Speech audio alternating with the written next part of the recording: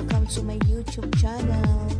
Kung bago ka sa YouTube channel ko, huwag niyo kakalimutan mag-subscribe, notification bell all, para updated kayo sa lahat ng upload video ko.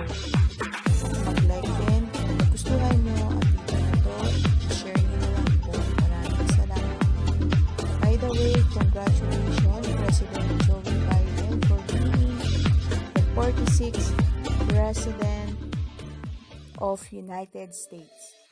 After all the drama from the Trump admin, the fake news, the horrible Capitol riot last January 6, the, the Under lies, God, the democracy indivisible, has to carry out the peaceful transfer of power as we have for more than two centuries. As we look ahead in our uniquely American way, restless, bold, optimistic, and set our sights on the nation we know we can be and we must be. I thank my predecessors of both parties for their presence here today. I thank them from the bottom of my heart. And I know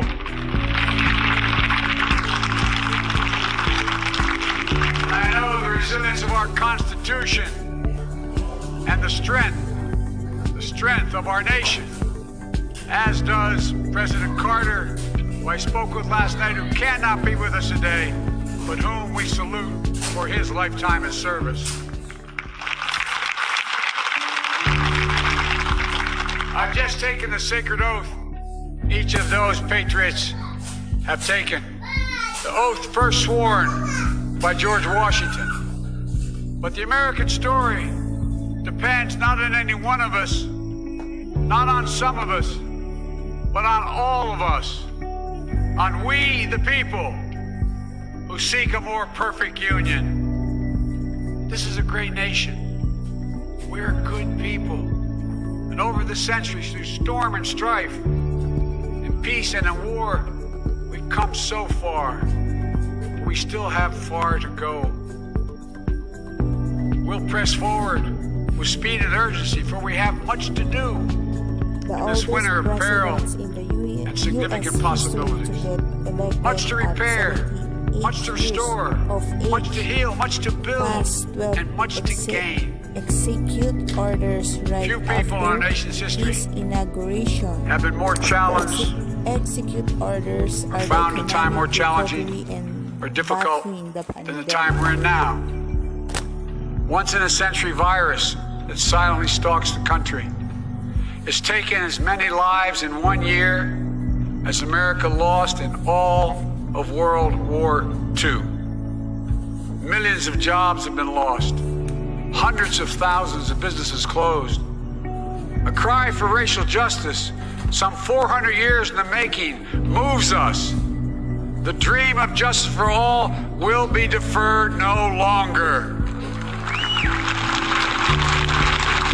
Cry for survival comes from the planet itself.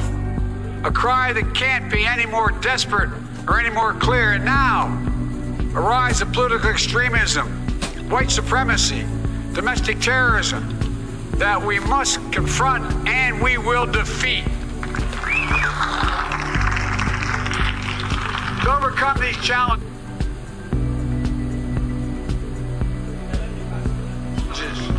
restore the soul and secure the future of America requires so much more than words. It requires the most.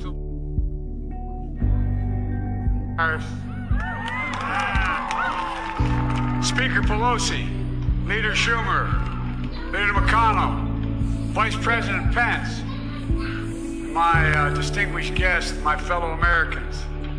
This is America's day. This is democracy's day. A day of history and hope, of renewal and resolve.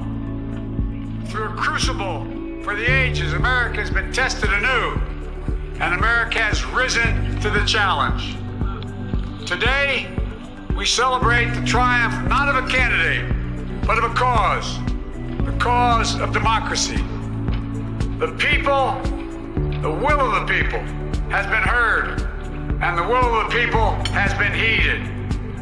We've learned again that democracy is precious, democracy is fragile. And at this hour, my friends, democracy has prevailed.